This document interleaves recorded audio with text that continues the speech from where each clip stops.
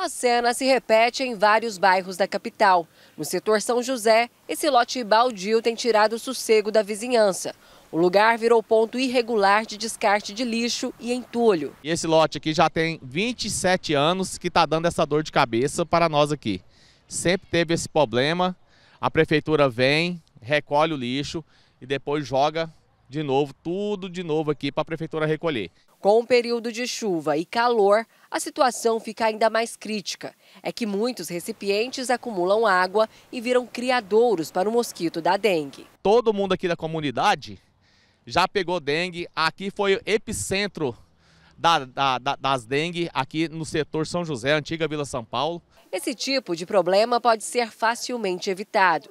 Em Goiânia, existem hoje cinco ecopontos como esse. Eles funcionam nos bairros Faisalville, Parque Eldorado Oeste, Setor São José, Campos Dourado e Jardim Guanabara.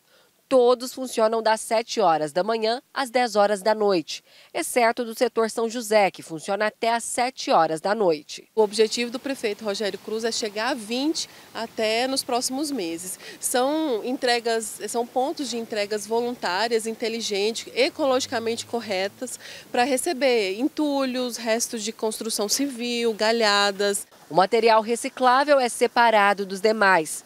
O lugar também recebe pneus e óleo de cozinha que já tinha sido coletado. Gabriel trabalha com decoração de eventos e sempre que precisa faz o descarte do resto dos materiais no ecoponto do setor Faisalville. Nós mexemos com decoração de eventos e não tem onde a gente jogar o lixo. E aqui não tem como nós jogar. Que é bom demais lugar. Evita então sujar um lote aí, provocar bicho. Prefere deixar na porta do que jogar no lote do vizinho. Aí a gente achou aqui, nós vem jogar aqui direto agora.